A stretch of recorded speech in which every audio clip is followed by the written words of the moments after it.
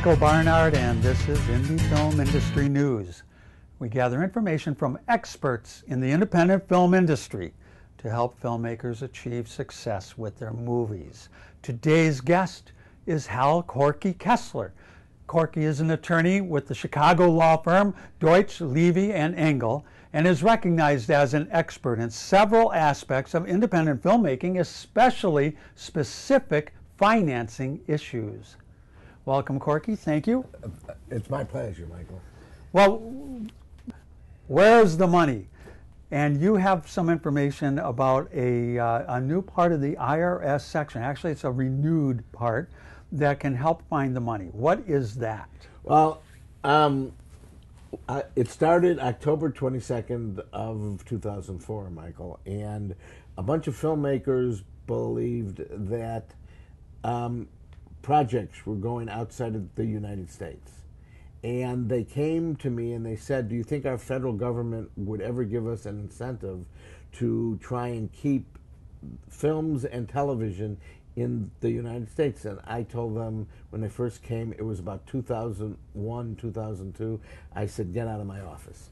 I said, There's no way the United States can compete uh, with the other foreign countries that were giving great incentives. And, and, and realistically, studios, smaller studios, production companies, and many other companies in the business were shutting down. Their business was leaving the United States. So these filmmakers came back and talked to me again, and they said, There's something that's going on that's called the American Jobs Creation Act of 2004.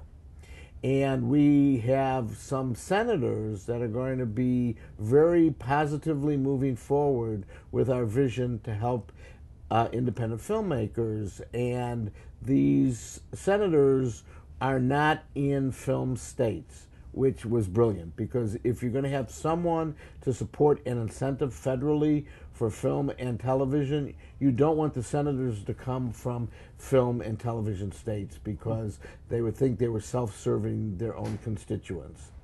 So it was Lincoln, it was Snowe, it was Hatch, and I forget who the fourth senator were uh, was, and they came and they sponsored what was called the Federal Incentives uh, 181, Section 181 of the American Jobs Creation Act of 2004, and it took effect October 22nd, 2004. And it's been extended and extended and extended and extended. And the last extension, uh, which happened January of 2013, went back and picked up all of 2012 when it had expired, and it's through the end of this year.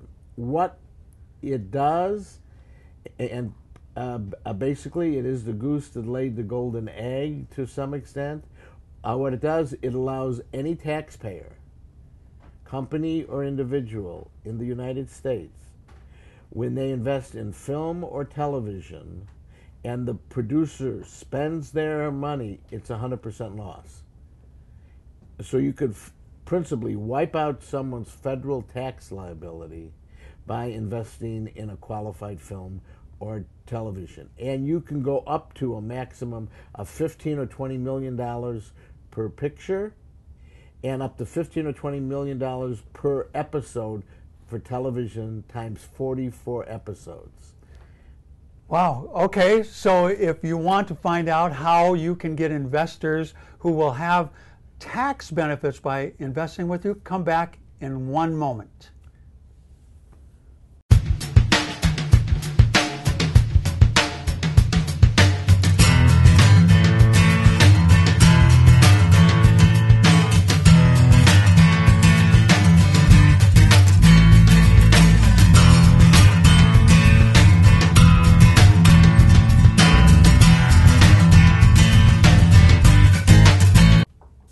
Welcome back. We're talking about tax benefits for your investors.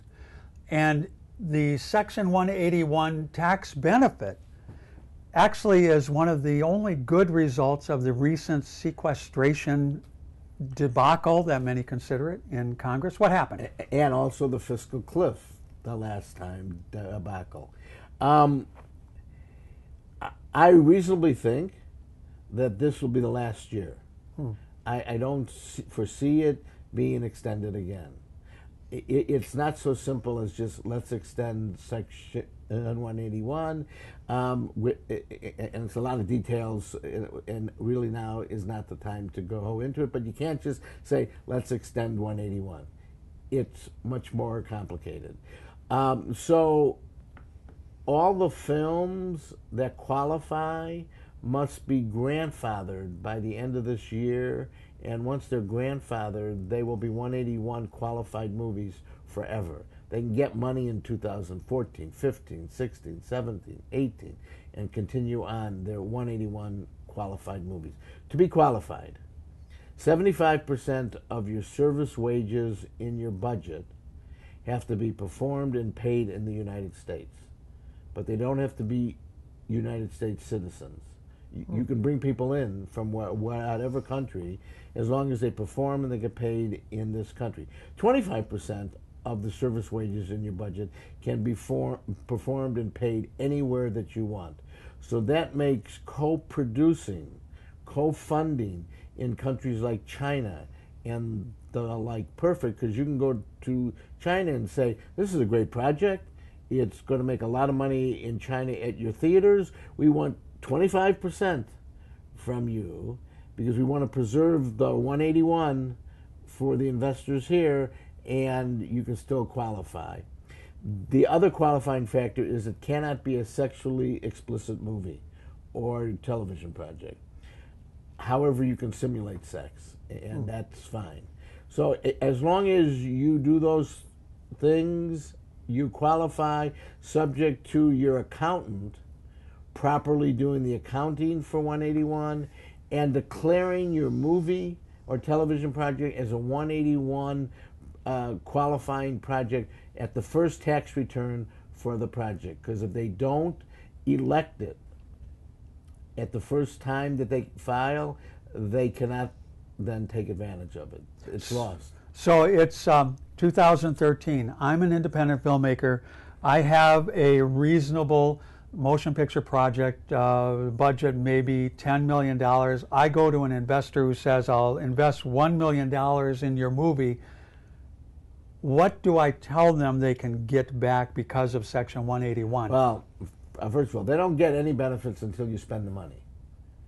So it's spending that really triggers it. Um, I- I tell my clients they should not talk about it. They should introduce the topic to these investors and let me talk to them, or let somebody else to, uh, uh, do that that conversation because I'm fearful that you might say something that's really not so accurate and then I have to backtrack and we're going to lose a little credibility in that. So I have my clients just, just introduce the topic and then let me talk to them or their tax advisors. Um, i- i- it is really an unbelievable start. The highest tax bracket today is 39%. So if you give a million dollars to a project and that's spent in 2013 and you're a 39% taxpayer, I've given you a tax credit of $390,000. Hmm.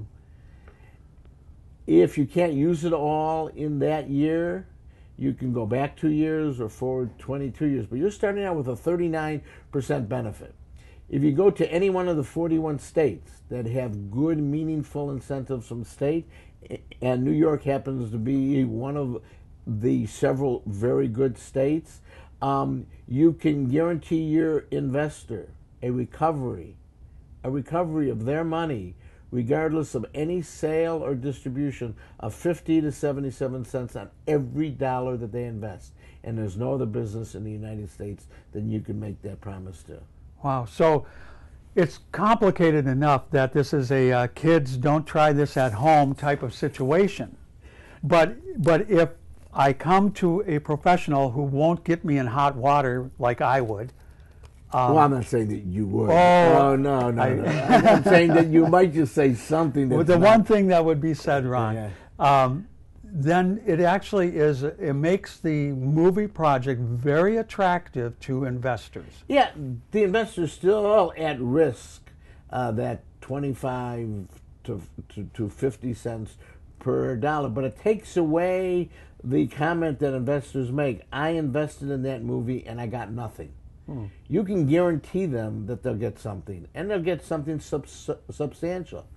So you start out by looking at look, we've got some advantages to get investors. People who've never invested in film are now investing in film because of this tremendous head start that they get. Now, you can talk about um, completion bonds, uh, you, you, uh, you, can talk about pre sales, uh, you can talk about a lot of things that makes you in a profit before you shoot a, a film.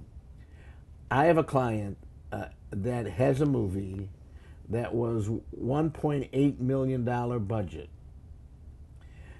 Um, uh, 181, 39%, five pre sales that got him $1.3 million from five countries in pre sales, and the incentive in the state of 25%, he was in a profit to his investors before he shot a single scene of the movie. That sounds attractive. All right, so I have um, I have a movie project. It's 2013. Um, I'm not sure I'm actually going to go into production before 2013 ends, but I've got some interest. I've got a script. How do I grandfather my option to use Section 181? Uh, you need a screenplay. You need a budget. You need the investor documents for for people to invest, and you need one day of photography with some dialogue. One day of, one photography. Day of photography with some dialogue from your screenplay. However, your budget can change, your screenplay can change, your one day doesn't need to stay in the movie, and your investor documents can change as to all the amounts that it needs to take. So it's a very fluid process, but in my file, I want a budget, I want a screenplay, I want the investor documents, but you don't need investors. You just need the investor documents. Hmm. And I want that one day of photography with some dialogue, which my client will date and time stamp that I have in my file. What about uh, entity? Corporate entity, LLC, does uh, that oh, matter? Well, I typically do an LLC. Okay. Uh, uh, be, because you're, you're not going to get investors typically through a corporation. You would get them in through a limited liability company. Um, so there's an expense. Uh, there's an expense, uh, uh, well, the expense to get the investor documents. Um, there's a, a, an expense to do the budget, I assume. The screenplay, if it's your screenplay, there's no expense there and one day you get your your mini cam your camera you go in front of a tree you put a guy talking to the tree in front of the tree. If the guy talking to the tree is a page in the screenplay they have in my file oh, we're fine. You don't need the actor to stay in the movie. You don't need the shot to stay in the movie. But it's got to be a day of photography with dialogue that appears in the screenplay that i have. So section 181 is a real benefit for filmmakers and the investors in the film. It might end at the end of two th- 2013, which it's it, been it a battle every year. Probably will end. But we can grandfather our chance to make to use Section 181 right. by taking the steps you just pointed out. Right. Great. And th- and there's another incentive that has nothing to do with with 181, and this incentive does not sunset it's a section 199. And 199 is the income return section.